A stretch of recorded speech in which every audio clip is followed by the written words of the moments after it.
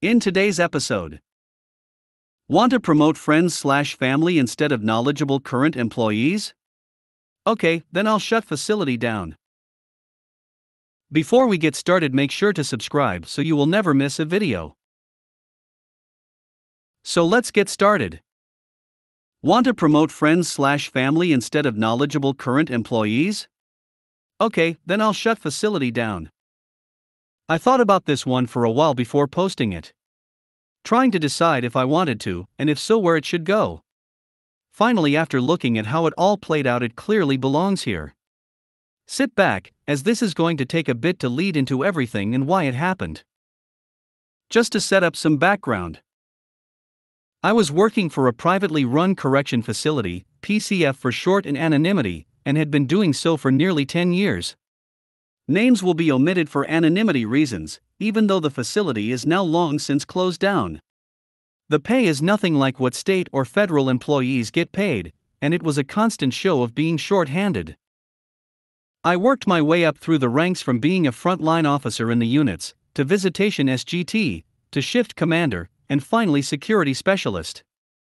Bear with me, as this does take a bit to explain why the upward steps came.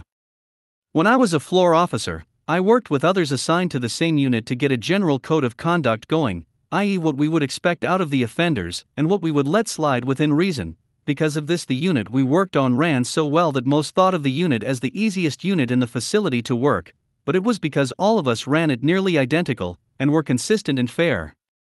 Eventually, this caused my shift commander to move me to other areas as a test and eventually into visitation. Visitation ended up being one of the most demanding positions I worked at the facility simply because prior officers had done so little and were so behind. Along with my partner, which regularly changed because of the stress of the position, we got the visitation department up to code and went from taking 5 visitors a weekend to over 80 visitors a weekend on the regular. After doing this for roughly three years, I moved up to SGT of visitation, which was less stressful as it was more supervisory, and handling complaints as well as necessary policy revisions. After nearly two years, I moved into Shift Commander. Here I identified several issues with our overtime policy to include significant favoritism issues as well as corrected several reporting flaws that we were constantly being dinged on by PPMU, Private Prison Monitoring Unit of the Department of Corrections in my state. Because of this PPMU personnel, and I became very close as I worked with them on further clarifying and correcting some of the things we weren't doing quite right. This led to creating several spreadsheets in Excel that more or less made tracking overtime, vacation, assignments, and various other little managerial things far easier to track with barely anyone having to do much other than add their employees and fill out assignments for each shift. This allowed us to get away from favoritism and more easily spread the copious amount of overtime fairly so everyone was doing their fair share instead of just a handful constantly being taken advantage of while also making it easier to explain monthly shortages. Higher UPS loved it, PPMU loved it, and many of the overworked frontline staff were delighted by it cause it allowed them to finally get some rest after 16 hour shifts while others hated it cause they couldn't skate by under the radar without doing their share of mandatory overtime. Part of the new hire agreement was signing you understood there was mandatory overtime, and refusal could lead to disciplinary up to termination. During this time, we had some changes in administration and the creation of a couple positions that were required as part of our contract with the state, which was renegotiated yearly. This is important to know later on. This included at least one captain per shift. Originally, we had two lieutenants, a captain of housing, had none prior, a security specialist, also a lieutenant position, and changing several positions from officer to SGT level. This is where the problems started, and a number of the staff started filing complaints because while the state mandated these positions, the private company didn't like it cutting into their profit margin and begrudgingly agreed. However, our administration saw this as a way to get their friends in cushy positions. Company policy says to promote from within, but our administration found ways to make it seem like most internal candidates didn't meet qualifications while hiring old buddies into newly created captain and administrative positions. I was eventually moved to security specialist and backup shift commander.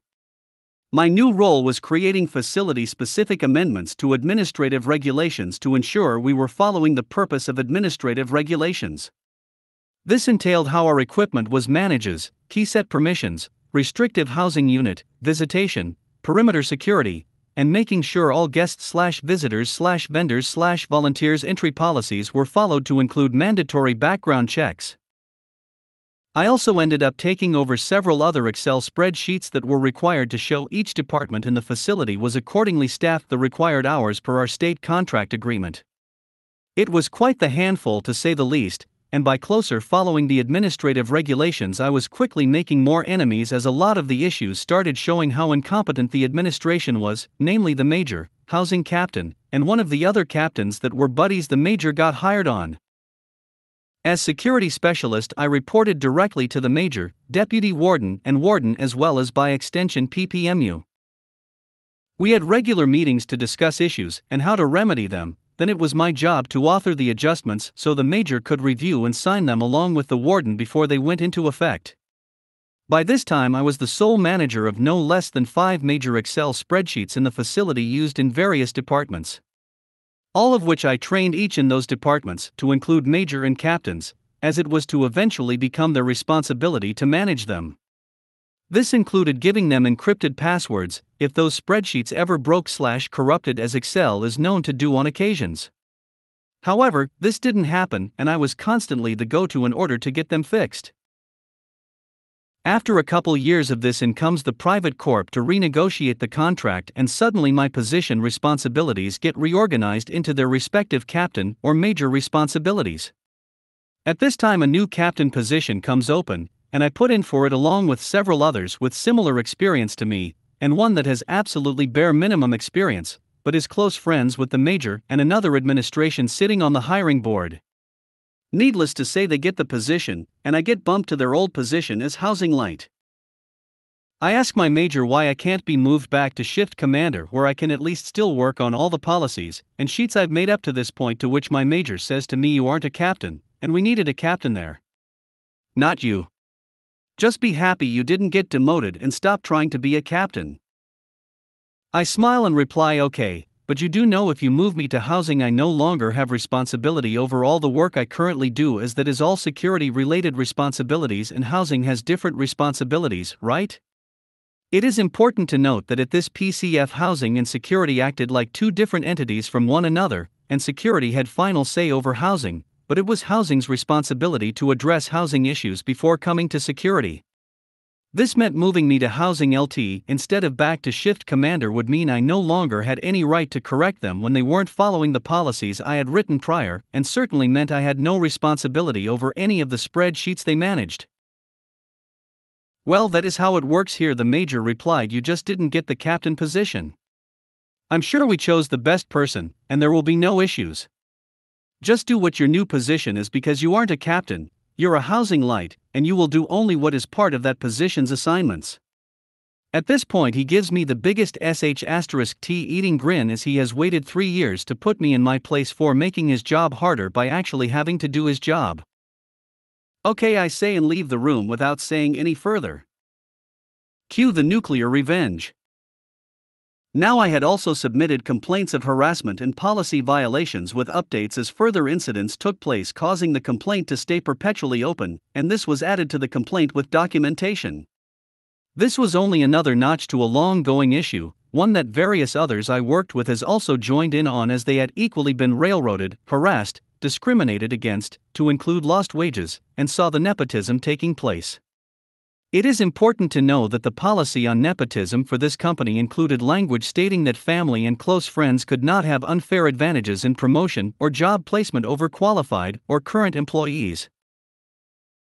Now it isn't immediate, this change, but after a couple months, I'm now working as a housing LT and taking care of my new responsibilities. I shed all responsibility of prior spreadsheets, policy adjustments, and anything that doesn't have to do with my immediate department. It is about this time when things start to go noticeably wrong. Even though I took the time to train, assign management rights, and give password control of all workbooks to the responsible department heads, most of which was the major, it doesn't take long for it all to go to sh asterisk T. The new captain doesn't know a thing about Excel, let alone any of the reporting software a shift commander has to use sometimes multiple times a day. Is very lacking in knowledge of AR and quickly gets various offender and staff complaints. The major isn't keeping track of the spreadsheets he is now supposed to manage, contract compliance tracking and facility entry tracking, because he is just as clueless when it comes to anything computer related, and visitation is slowly going down the drain cause none of the other captains kept open communication with the SGT slash officers to help deal with issues and staffing concerns. By this point, PPMU is very unhappy and demanding that these areas be brought up to compliance within 30 days, or they will start to pursue fines against the company, cutting further into their monthly profit margin by nearly $1,000 per day out of compliance for each issue, on top of other fines for failure to fill contractually obligated positions. Needless to say, these are fines that add up very fast for those who don't know. At this point, my housing captain calls me into his office with another of the admin to give me the assignment of fixing these troubled areas. After reviewing the assignment, I smile back and tell him sorry. The major told me I wasn't a captain, and that I was to stop doing captain work now that I was a housing lieutenant. This is beyond my assigned post to fix as it requires me to tell security what to do in order to fix it. We should work as a team. You don't want the team to suffer for this, do you? He says to me. Then the other admin pipes in light, let me get this right. You are refusing to do this because you didn't get the captain position? I then give the same sh asterisk t eating grin the major gave me when he told me months earlier well that is how it works here, isn't it? Security manages security and housing takes care of housing unless it jeopardizes the security of the facility, then it is security's problem, right? I then roll my shoulders into a shrug. I just simply lack the authority to do the job, and the major assured me that you and the other captains all had it under control. I even showed it all to you before I was reassigned, remember? By this point, I can see that the captain is getting visibly upset as they are now entirely responsible for all the work I used to do. The other admin at this point looks at me again and asks, So are you refusing to do this assignment? It isn't that I'm refusing to do the assignment, it is just that with all my new responsibilities as housing lieutenant, I simply don't have the time to do them, and the work of a captain, which the major made very clear I'm not supposed to do the work of any longer, as I am not a captain. I then stand with a smile, so no, I am not refusing the assignment, I am following the orders of a higher superior that told me to no longer do anything outside of my assigned duties as a housing light. Last I checked, the post orders I signed stated I was only to do assignments that are of housing unit responsibility, which also is signed by the major and the warden. Now, if you don't mind, I really have other responsibilities I need to get back to. I then smile to both of them and walk out of the office as I was currently in the middle of getting vacation request and working on offender housing assignments to ensure we were in compliance with STG, security threat group, and racial balance requirements for the nearly 1,000 offenders in the facility. About 20 days later, I receive a phone call while on vacation at 8 a.m. from the stand in warden. Our warden had been put on administrative leave pending investigation, along with said housing captain. Is this light? Asks the stand in warden, to which I groggily answer, Yes, it is. Who is this? This is stand in warden, and I'm sitting in the room with housing captain, who has brought something rather startling to my attention. He is saying that you refused to do an assigned duty that resulted in the inability to track various things in the facility, is that correct? At this point, I sit up in bed and answer yes, that is correct, but that is Bika dash. I don't even get to finish as this stand in is clearly upset at my admission and interrupts me. You do realize that this is insubordinate behavior that is gross in nature, don't you? Anger clearly in his voice, but a controlled anger. I can only imagine that the housing captain is sitting in the room with a sh asterisk t eating grin.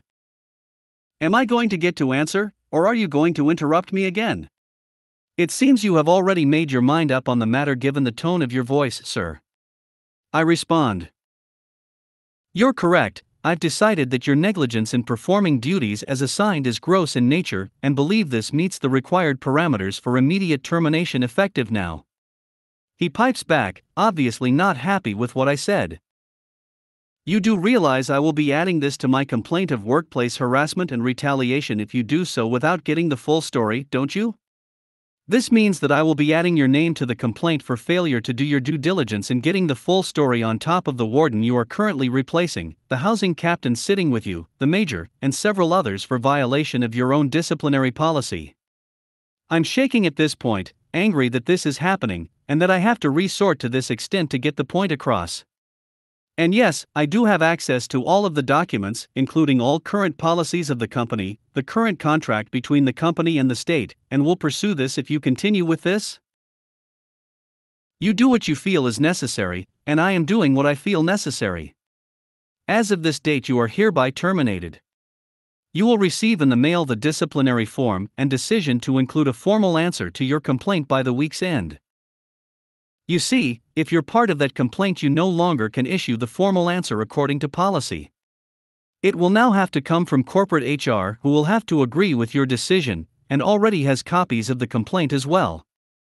My voice now shaking from my own anger. Well, then you'll be hearing from them, I suppose. The phone then hangs up, but not before I could hear the change in his tone of voice as well. I wasted little time in updating my complaint and notifying the corporate HR person I had been in contact with for about six months now. The aftermath. A week later, a notice was sent to all employees that the facility would be closing their doors permanently in 90 days, and I continued to receive my full 40 hour a week pay until the day those doors closed without ever having to return to work. I was then later allowed to file for unemployment as well as the technical reason for loss of employment was through no fault of my own. I later found out from the HR department that the facility was closed due to four major reasons. 1. The company was no longer making any profit due to poor management decisions that lead to PPMU issuing upwards of $75,000 in fines per month on top of out of control overtime due to shift commanders not properly tracking their shift officers' overtime, vacation, or days off. 2. Many of the administration and captains had received numerous complaints of company violations to include harassment and nepotism. 3. PPMU investigated the qualifications of some of the recently hired slash promoted administration and captains as they too were suspicious that they didn't meet proper qualifications for the position. This means they were entitled to backfine all the days those positions were filled simply because they were unqualified candidates. Fourth, the investigation found all complaints to be valid and would require termination of nearly all of the current administration, two captains, and one hour for failure to correct the issues, meaning it was easier to just cut their losses rather than try to fix it. Why was this nuclear revenge? Well, the state had to quickly move and relocated nearly 1,000 offenders, 250 people lost their jobs, of which 15 of them ended up fired due to policy violations resulting from the investigation of nepotism and workplace harassment. A few had workplace discrimination and resulted in one person, who was not receiving fair wage of others of similar position, to receive back pay of upwards of $38,000. My start of complaints led to others filing complaints for similar reason in the nearly two years leading up to this, adding to documentation of the issue that resulted in the closure of the facility. Even knowing the impact this had, if I were to live through it again, I would still have done the same thing.